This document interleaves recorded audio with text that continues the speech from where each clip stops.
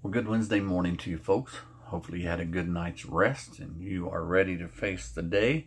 I'm going to read to you from the book of Matthew this morning in chapter 27 of the book of Matthew. It says in verse 19 When he was set down at the judgment seat, his wife sent unto him, saying, Have thou nothing to do with that just man, for I have suffered many things this day in a dream because of him. And of course, this is Pilate we're talking of here. But the chief priests and elders persuaded the multitude that they should ask Barabbas and destroy Jesus. The governor answered and said unto them, Whether of the twain will ye that I shall release unto you? They said, Barabbas. Pilate saith unto them, What shall I do with then with Jesus, which is called Christ? They all say unto him, Let him be crucified. And the governor said, Why? What evil hath he done? But they cried out the more, saying, Let him be crucified.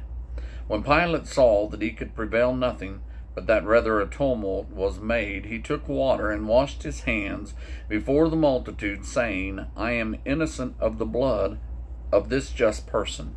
See ye to it. Then answered all the people and said, His blood be on us and on our children.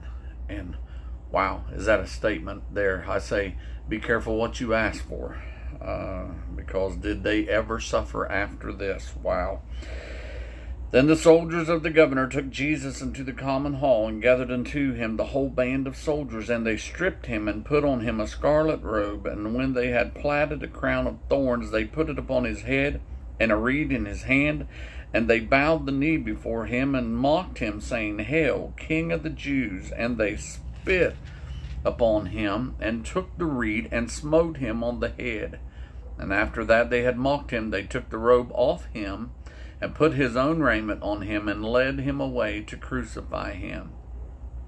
And as they came out, they found a man of Cyrene, Simon by name. Him they compelled to bear his cross. And when they were come into the place called Golgotha, that is to say, a place of a skull, they gave him vinegar to drink, mingled with gall. And when he had tasted thereof, he would not drink. And they crucified him, and parted his garments, casting lots, that it might be fulfilled which was spoken by the prophet. They parted my garments upon them, and upon my vesture did they cast lots. So they crucified him. Then they sat down and watched him. And they sat there and watched him until he died. I remember years ago, years ago, our boy was probably 10 years old, maybe he's 11 years old. We went to a, to a local church here that was having an Easter play. And in this Easter play, uh, they were showing the crucifixion and you could hear the hammer hitting the nails, big spike nails. And it was shortly after that that our son, who was about, um, well, he was about 11 years old, I would say, uh, at the time. So this has been a, a, a good while ago. He said he couldn't hardly stand that. He just put his hands up to his ears because what broke his heart was he thought he's doing that for me. And I say there are a lot of people today that probably put their hands over their ears spiritually. They don't want to hear it, but I'm telling you today, He did it for you. I'm thankful that He did it for me. I'm not thankful that He had to, but in a sense, I am so thankful that He did what He did for me. Sometimes it is that story of the cross. And it is the preaching of the cross is to those that are lost. It's foolishness, the scripture says. But to us who are saved, it is the power of God unto salvation. There's something about Jesus being lifted up on that cross, like he told Nicodemus, if I be lifted up, I will draw all men unto me, just as Moses lifted up the serpent in the wilderness. I must be lifted up. On that cross, lifted up it does something to a man, to a woman. The convicting power of the Holy Spirit lets them know that, hey, He did this for you. And that's why I've always loved this song. I'm going to try to sing this song. It just talks about a simple man who showed up to church on an Easter Sunday one morning, but left a different way than he came.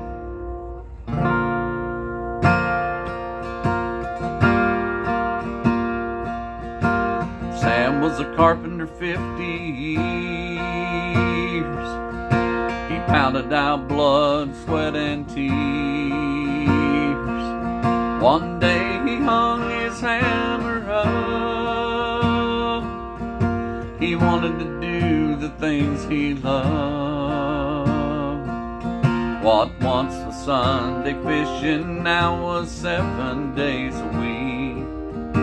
He told his wife to find me, I'll be down at the creek.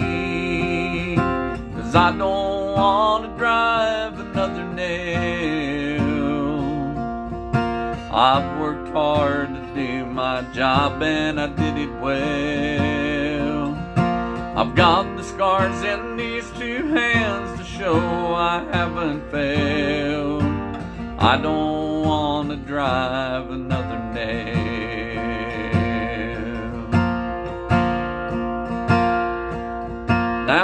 Was a woman full of faith, and old Sam was full of pride. But she knew that he had one more job to do before he died. Easter Sunday rolled around in a country church for the lost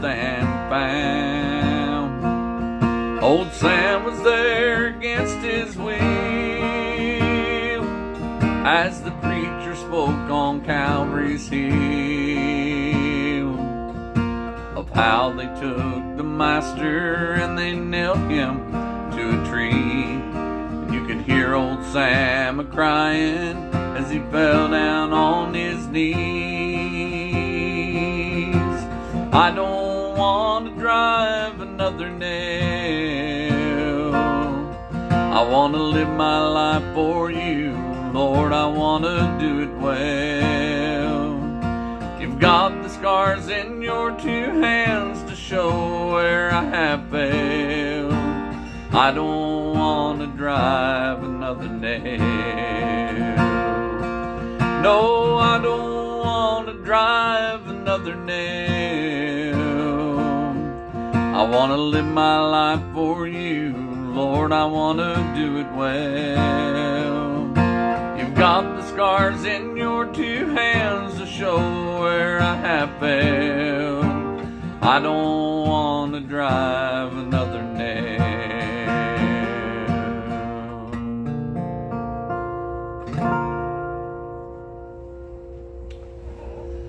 Lord, I thank you for everything you do for us. And I thank you for opening our eyes to the fact that those nails that were driven into your hands, you did that for us. And God, I pray that you would bless us today, that you would help us to look to you, to continue to look to you, not only for salvation, for help, Lord, but uh, for the ability to show other people the love of God that maybe sometimes they fail to see. God, help us to show that to them. We love you, Lord, and we thank you for all you do. In Jesus' name, amen. God bless you, folks, and uh, we'll talk to you on Thursday.